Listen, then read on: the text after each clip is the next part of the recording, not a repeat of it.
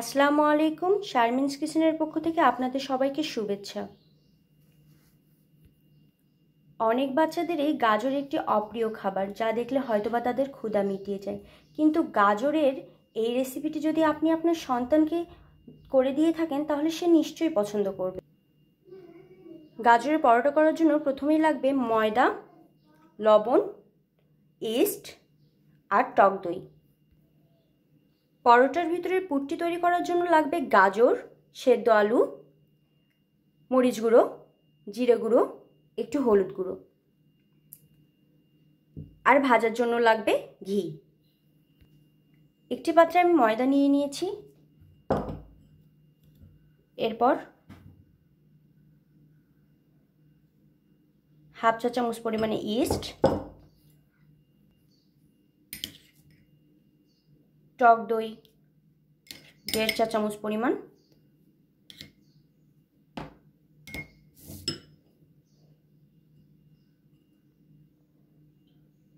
লবণ স্বাদ মতো।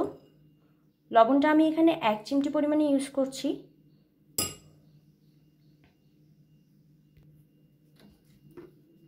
এবার নর্মাল পানি দিয়ে মেখে নিতে হবে। এটা আমি খুব সুন্দরভাবে মেখে নিচ্ছি। এটা কিন্তু একবারে পানি দিয়ে মাখানো যাবে না। একটু একটু করে পানি দিয়ে মাখাতে হবে। হয়ে গেছে আমার ময়দা মাখানো। এটা খুব সুন্দর সফট হয়েছে। এটা এইভাবে মাখিয়ে এবার পনেরো মিনিট রাখতে হবে। আমি হাতের মধ্যে সামান্য পরিমাণে তেল দিয়ে নিয়েছি। এবার এই খামিরটার উপরে আমি তেলটি খুব সুন্দর করে দিয়ে দেব। আর এটা অবশ্যই পনেরো মিনিট কোনো গরম জায়গায় রাখতে হবে। পুর তৈরি করে নেওয়ার জন্য আমি চুলাতে একটি প্যান বসিয়ে দিয়েছি। এবার এর প্যানটা গরম হয়ে এলেই প্যানটা আমার গরম হয়ে এসেছে। এবার প্রথমেই আমি এক চা চামচ পরিমাণে ঘি দিয়ে দিচ্ছি পুরটি তৈরি করার জন্য। এবার এর মধ্যে আমি গাজর দিয়ে দিব।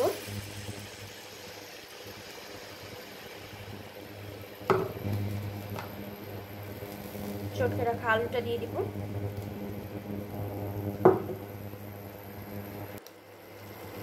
এরপর আমি হলুদ দিয়ে দিলাম।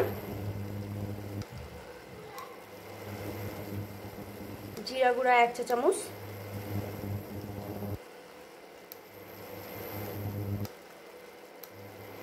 ঝাল হাফ চা চামচ।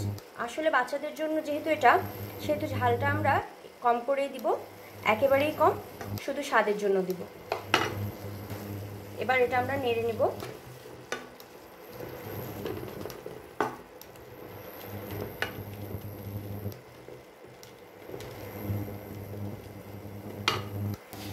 রান্না করে নেওয়ার জন্য আমি ঢাকনা দিয়ে দিচ্ছি। পাঁচ মিনিটের মতো আমি ঢাকনা দিয়ে রাখব। যারা ঝালের পাশাপাশি মিষ্টি খেতে চায়, আমি তাদের জন্য এক চিমটি পরিমাণে চিনি দিয়ে দিচ্ছি। পাঁচ মিনিট পরে এটা ঠিক আমার এরকম হয়ে গেছে, যেমন হয়ে এসেছে, এটা আমি এবার নামিয়ে নেব।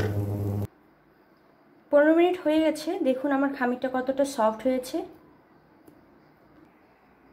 খামিরটা আমার হয়ে গেছে, এবার এর মধ্যে আমি কিছু পুর দিয়ে দিব। পুর দেওয়ার পরে এটা আমি মুড়িয়ে নিচ্ছি। বেলে নেব। এরপর এটা আমি খুব সুন্দরভাবে বেলে নেব। পরোটাটা আমার হয়ে গেছে। চুলায় আমি প্যান বসিয়ে নিয়েছি। ভাজার জন্য এক চা চামচ পরিমাণে ঘি দিয়ে দিচ্ছি। ঘিটা গরম হয়ে আসা পর্যন্ত আমি ওয়েট করব। পরোটাটা আমি দিয়ে দিলাম। এটা ব্যাস, তৈরি হয়ে গেল আমার মজাদার গাজরের পরোটা। আপনারা অবশ্যই বা বাড়িতে ট্রাই করবেন। আপনার বাচ্চার স্বাস্থ্যের দিকে লক্ষ্য রেখে আজকের আমার এই রেসিপিটি ধন্যবাদ। ভালো লেগে থাকলে অবশ্যই একটি লাইক এবং কমেন্ট করবেন। এবং আমার চ্যানেলটিকে সাবস্ক্রাইব করতে কিছুতেই ভুলবেন না।